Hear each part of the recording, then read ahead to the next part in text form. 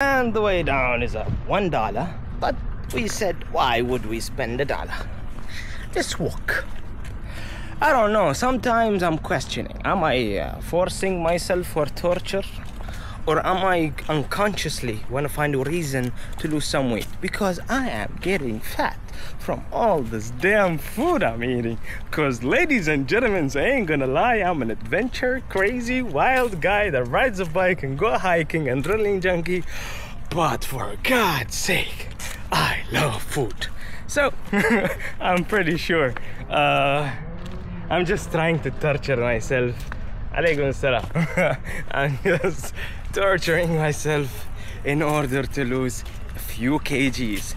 Cause everybody that knows me, sees me in person, knows the person and how fit I used to be before, knows very clear, 100% that I need to lose some weight.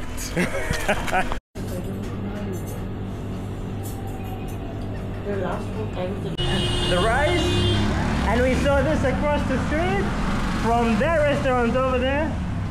Voila! So whatever i lost